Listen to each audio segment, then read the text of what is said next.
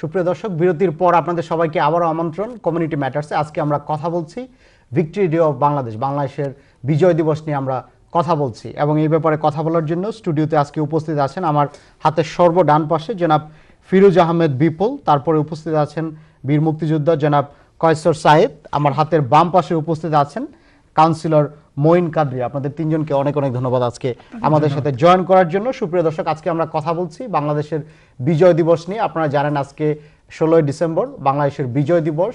উনিশশো একাত্তর সালে দীর্ঘ নয় মাস যুদ্ধ করার পর আমরা বিজয় অর্জন করেছিলাম।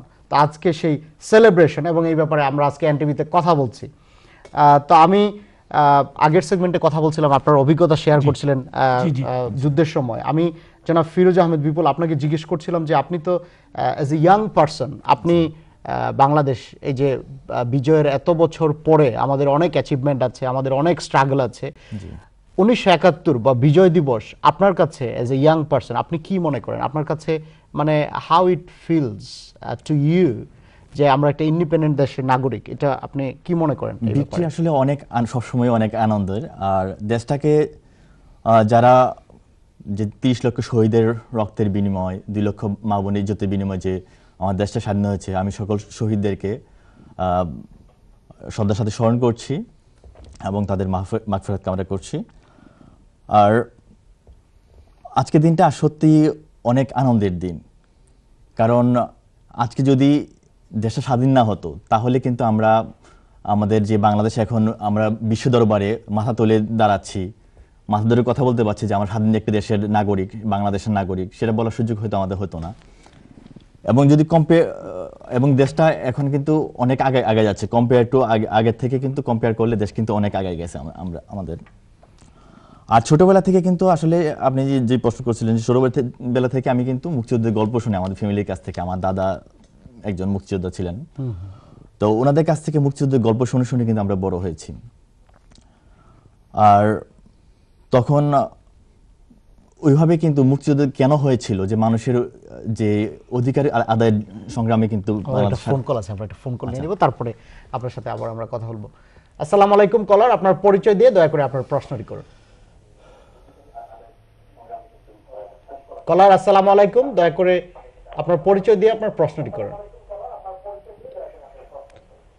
ওয়ালাইকুম আসসালাম আপনি টিভি থেকে দয়া করে একটু আমি একজন মুক্তিযোদ্ধা। আপনি sorry sorry to interrupt you আপনার ফর টেকনিক্যাল রিজন আপনি টিভি থেকে টিভি সেট থেকে একটু দূরে গিয়ে আমাদের সাথে কথা বলেন। আমরা শুনতে পাচ্ছি আপনাকে।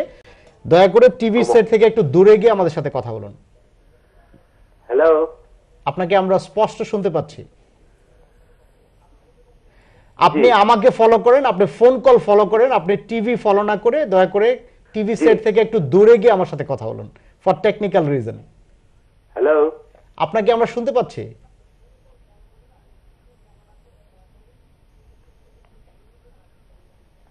হ্যালো আসসালামু আলাইকুম মুক্তিযোদ্ধা ভাই।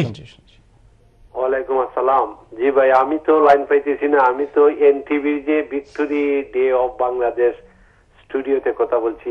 হ্যাঁ কথা বলছেন। আপনি কথা বলছেন। লাইভ আমাদের স্টুডিওতে কথা বলছেন। জি থ্যাংক ইউ তো আমি একজন মুক্তিযোদ্ধা।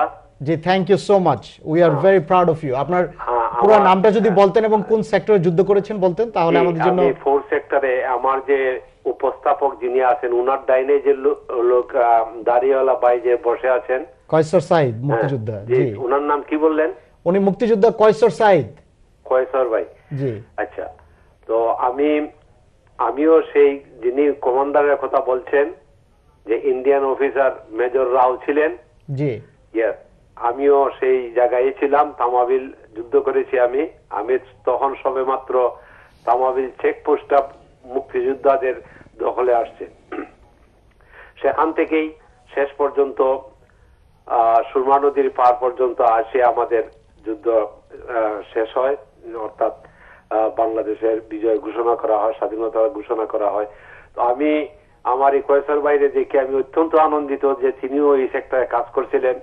বেশির অংশ মুক্তিযুদ্ধ আমরা যারা এই সেক্টরে ছিলাম, দেশের বিভিন্ন প্রান্তের মুক্তিযোদ্ধারা এই জায়গায় জড়িত হয়ে একসাথে আমরা দেশের জন্য যুদ্ধ করেছিলাম। সম্ভবত উনি জানেন যে ওই সময় আমাদের মুক্তিযুদ্ধ যখন শেষ হয়ে যায়, তার দুই দিন পরে যিনি আমাদের হাবিব ভাই নামে একজন হাবিলদার ছিলেন, প্রাক্তন ইপিআর এর উনার মৃত্যুর কথাটা আমি জাস্ট একটু আগে আমার ঘরে আমি কথাটা শেয়ার করতেছিলাম যে কীভাবে লোকটা মারা গেল। আমি তার স্মৃতিচারণ করে সব সময় আর আমার এই বাইকে আমি আমন্ত্রণ জানাইমু। আমার যে ইউকে মুক্তিযোদ্ধা সংসদ যেটা স্পিলমেন্ট অফিসে উনাকে দেখার জন্য আমি আগ্রহ করে প্রকাশ অপেক্ষা করব। আমাদের বর্তমান কমান্ডার মিস্টার আবুল কাসেম খান। ওনার সাথে দেখা করলে আমরা আরও ব্যক্তিগত বিষয় এবং সাংগঠনিক বিষয়ে ওনার সাথে আলোচনা করে ধন্য হব। আর একটা বিষয় আমি আপনাদের অনুষ্ঠানের মাধ্যমে বলতে চাই, যেটা সবচেয়ে বড় দুঃখ লাগে মনের মধ্যে আজকে বাংলাদেশে মুক্তিযুদ্ধ, বর্তমান সরকার মুক্তিযোদ্ধাদেরকে যে সম্মাননা দিয়েছেন, বিভিন্ন সুযোগ সুবিধা দিয়েছেন, আজ থেকে দশ বছর আগে মুক্তিযোদ্ধারা এইভাবে পরিচিতিও ছিল না। মুক্তিযোদ্ধাকে নিয়ে এই সমস্ত আলোচনাও কেউ করতো না কিন্তু বর্তমান সরকারের আমরা আমরা আমরা ওইসবে না যাই। আমরা আমরা রাজনীতিতে না যাই আমরা আমরা রাজনীতিতে না যাই। আমরা আমার মনে হয় যে দলমত নির্বিশেষে সবাই মুক্তিযোদ্ধাদেরকে স্মরণ করে। থ্যাংক ইউ সো মাচ এই কথাটা শুনেন না আমরা আমি পার্টিকুলারলি আজকে আমরা today we are more interested to celebrate the victory of Bangladesh আমরা আজকে রাজনৈতিক যে পোলারাইজেশন আছে বাংলাদেশে তা নিয়ে আমরা কথা বলতে আগ্রহী না। Thank you so much thank you so much but never দিলেস আমরা we are very proud of you উনি একজন মুক্তিযোদ্ধা এবং ওনাকে নিয়ে আমরা অনেক প্রাউড ফিল করি। আর ওনার যে কন্ট্রিবিউশন স্যাক্রিফাইস ওইটা কিন্তু আমরা আহ, আমরা উই উই We আমি শিওর যে everyone irrespective of political ideology they will cherish that memory definitely. Thank you so much. আপনি বলছিলেন যা আপনি বড় হয়েছেন মুক্তিযুদ্ধের কথা শুনে আপনার দাদা হ্যাঁ, ছিল দাদা মুক্তিযোদ্ধা। ছিল। মুক্তিযোদ্ধা দাদা তো গল্প শুনে বড় হয়েছি। তো এখনকার যে প্রজন্ম মানে আমরা তো আমাদের বাবাদের কাছ থেকে দাদার কাছ থেকে গল্পে শোনার সুযোগ পেয়েছি। কিন্তু পরবর্তী প্রজন্ম তো সেই সুযোগগুলো পাবে না। কেন আমাদের যুদ্ধ হয়েছিল? তো লন্ডনে আসার পর আমি টু থাউজেন্ড টেনে বিজয় ফুল কর্মসূচির একটা প্রোগ্রামে অ্যাটেন্ড করি। ওইখানে ওদের উদ্যোগ দেখে আমি সত্যি মানে অবাক হয়ে যাই যে আমরা যে গল্পগুলা দাদাদের কাছ থেকে শুনেছি ওই গল্পগুলাই সুন্দর করে এখানকার জেনারেশন যারা এখানে জন্ম এখানে যাদের বেড়ে ওঠা ওদের বাংলাদেশ সম্পর্কে হ্যাঁ, যাদের ধারণাটা খুব সহজে খুব সিম্পলি তুলে ধরতেছে। রাইট সেটা হচ্ছে বিজয় ফুলের মাধ্যমে। তো বিজয় ফুলটা আসলে যে পাঁচটা পেটেল আপনি দেখতে পাচ্ছেন এখানে কিন্তু মানুষের বেসিক রাইটগুলা কেন কেন বাংলাদেশ স্বাধীন হয়েছে? একটা গল্পের মাধ্যমে মাধ্যমে পরবর্তী প্রজন্মকে একটা মেসেজ দিচ্ছে যে এখানে আমাদের পাঁচটা পাপড়ি হচ্ছে পাঁচটা ফান্ডামেন্টাল রাইটস আপনার যেমন মানে মানুষের মৌলিক চাহিদা যেটা যে কেন মানুষ যুদ্ধ করেছিল তো মানে ওইগুলো ওই সময় তো আমরা যদি প্রি ইন্ডিপেন্ডেন্স কনটেক্সটটা দেখি তখন কিন্তু আমরা। ভৌগোলিক কারণে হ্যাঁ। কিন্তু Bangladesh was very enriched in terms of আপনার যে আমাদের ওই সময়ের কৃষিজ পণ্য বিভিন্ন কারণে হ্যাঁ। কিন্তু আমরা কিন্তু সবসময় ডেপ্রাইভড হতাম জি জি হ্যাঁ কারণ অ্যাডমিনিস্ট্রেশন ছিল আহ, অনেক দূরে অথচ টাকা পয়সা কিন্তু ছিল আরেক জায়গায়। সো আমরা কিন্তু ডেপ্রাইভ ছিলাম। সেই জন্যই আ- আদায়ের জন্যই কিন্তু বাংলাদেশের মুক্তিযুদ্ধ যে আমরা ন্যায্য অধিকার থেকে বঞ্চিত হচ্ছিলাম। তো ন্যায্য অধিকার মানুষের যে মৌলিক চাহিদাগুলা এগুলো কিন্তু আমরা পাচ্ছিলাম না. তো সেই জন্যই তো এখন আমি এখানে আসার পর যে বিজয় ফুলের মাধ্যমে দেখলাম যে আপনার কেন দেশটা স্বাধীন হলো মুক্তিযুদ্ধের গল্প এবং এখানে এসে অনেক মুক্তিযুদ্ধের কাছ থেকে তাদের গল্প শুনেছি।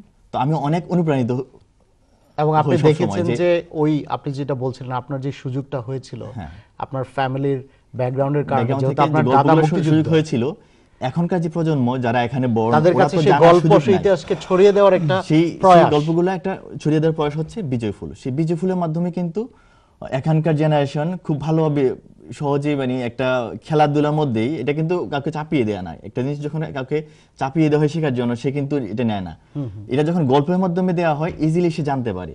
তো এই ফুলটা কাটার মধ্যে দিয়ে আমরা কিন্তু দেশের গল্প বলি মুক্তিযুদ্ধের গল্প বলি সঙ্গে সঙ্গে মুক্তিযোদ্ধারা গল্প বলে এবং কেন ওনাদের হ্যাঁ, যে জীবনকে চ্যালেঞ্জ করা উনি যেরকম গেরিলা কমান্ডো উনি বলেছে যে আমি যদি যুদ্ধ করি তাহলে আমি হাইস্ট যে রিস্ক সেটাই আমি নিব। আমার দেশের দেশের জন্য আমার কমিউনিটির জন্য সেটা আমরা করব। এর মধ্যে কিন্তু যে এখানকার জেনারেশন যারা এখানে বর্ন হয়েছে ওরা কিন্তু তাদের রুট সম্পর্কে তাদের শিকড় সম্পর্কে ওরা জানতে পারে। তখনই ওরা কিন্তু আগে জানতো না যে ওরা কোত্থেকে আসছে ওদের ফ্যামিলি কোত্থেকে আসছে মা বাবা কোত্থেকে। যখন জানে যে এমন একটা দেশ থেকে আসছে যে দেশটা তিরিশ লক্ষ মানুষ শহীদ হয়েছে স্বাধীন করার জন্য দুই লক্ষ হ্যাঁ। তখন তারা প্রাউড ফিল এবং তাদের মধ্যে কিন্তু দেশের জন্য একটা ভালোবাসা অন্যরকম একটা ভালোবাসা কাজ করে। ইনফ্যাক্ট আমরা তো আমাদের ভাষার জন্য রক্ত দিয়েছি যেটা কিনা মানে কোয়াইট ইউনিক অন্য কোনো দেশ সো মেনি রিজন যে আমাদের হিস্ট্রি থেকে কিন্তু আমাদের future generation they should feel proud of it এবং এই যে আপনি যেটা বলছিলেন যে granted they should not take it for granted কারণ ওনারা যখন মুক্তিযুদ্ধ করেছিল ওনারা যখন ইয়াং ছিল ওনারা কিন্তু ওনাদের লাইফ রিস্ক নিয়েছে তাই না? তো আমাদের আমাদের এই গৌরবের গল্প গল্পগুলো কিন্তু আমরা বিজেপিগুলোর মাধ্যমে দিই। তো তো ওইখান থেকে ইন্সপায়ার হয়ে তারপর থেকে এভরি ইয়ার আমি বিজেপির সঙ্গে থ্যাংক ইউ অ্যাক্টিভলি কাজ করে যাচ্ছি। Thank you thank you thank you so much জনাব মঈন কাদরি, আপনি আপনি কি মনে করেন? আপনি তো এখানে পলিটিক্স করেন, আপনি আপনার পার্সোনাল লাইফ আপনার আপনার জব আপনার অফিস পলিটিক্স ইভেন দেন আপনি বাংলাদেশ বা বাংলাদেশের ইতিহাস, বাংলাদেশের এই যে বিজয় দিবস, স্বাধীনতা দিবস, সবকিছু কিন্তু আমরা সেলিব্রেট করার চেষ্টা করি। আপনি কি মনে করেন? আমাদের কমিউনিটি ব্রিটিশ বাংলাদেশি কমিউনিটি বা বাংলাদেশি কমিউনিটি কি আমরা আমাদের দেশকে যেভাবে সেলিব্রেট করা দরকার, এইখানে বিলেতের মাটিতে আমরা কি সেভাবে করি? বা প্রোগ্রামগুলো কীরকম হয়? আপনি যদি আপনার অভিজ্ঞতা থেকে বলতেন।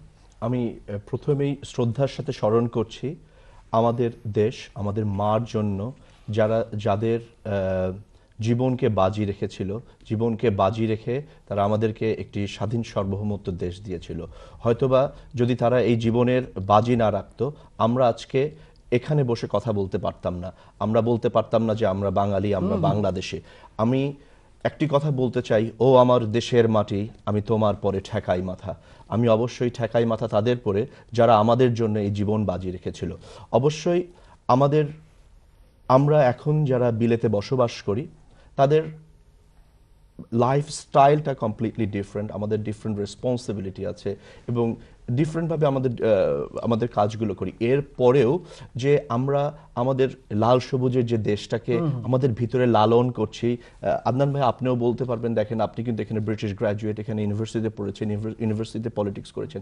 তারপরেও আপনার অনুষ্ঠানে দেখেন বাংলাদেশের একটা বিষয় নিয়ে আপনি খুবই আনন্দিত বোধ করেন খুবই গর্ববোধ করেন। আমি ঠিক সেই মূল্যবোধ থেকেই এই যে বিজয় ফুল যেটা এবং বিজয় ফুলের সাথে যারা কাজ করে এবং বাংলাদেশকে যারা রিপ্রেজেন্ট করে, আমি সেটাকে রিয়েলি প্রাউড ফিল করি। এবং বিজয় ফুলের মাধ্যমে আমরা কিন্তু আমাদের নেক্সট জেনারেশনের কাছে যাওয়ার জন্য প্রচণ্ডভাবে চেষ্টা করছি এবং অ্যাজ বিপুল ভাই আমাদেরকে যেভাবে সুন্দর করে বললেন যে বিজয় ফুল বানানোর মাধ্যমে ছোটদেরকে ছোটদের ভাষায় গল্পটা বলা হয় কীভাবে যুদ্ধে যাওয়া হয়েছিল কেমন করে ত্যাগ- ত্যাগ করা হয়েছিল। আমি একটা এক্সাম্পল দিই কেমন করে আমরা এটাকে সেলিব্রেট করছি। এটা two weeks before three weeks before Sunday Shamima Azad আপা এবং আমরা সবাই একটা ব্রিকলেন অসম সামথিং লাইক দ্যাট শ্যাডোয়েলের সামার একটা কমিউনিটি হলের মধ্যে বসলাম।